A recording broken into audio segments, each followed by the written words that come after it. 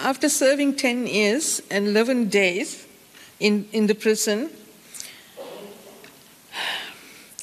and despite of his rehabilitation and good works, and wanting to live a life to help others, my son was killed on the morning of Wednesday, 29th of April at 12:33 a.m.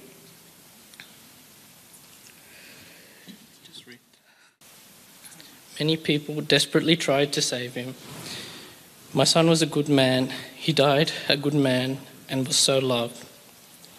He got caught up with something bad, and the anger and shame I felt when he was arrested was gone long time ago. Mayu himself was so ashamed for letting me down. Mayu accepted full responsibility for what he had done and apologized to everyone. When we talked about what would happen to him next, he asked me to stay strong.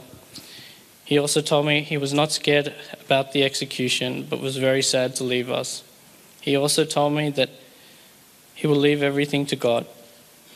Whatever happens, he is okay with it. As Australians, we should be immensely proud of the fact that we have not committed such a barbaric, violent act on another human being for almost 50 years. My grief is personal. I lost my friend last week. But the senselessness of what happened to my friend has made me see very clearly that the act per- perpetrated on him was as close to evil as I've ever seen.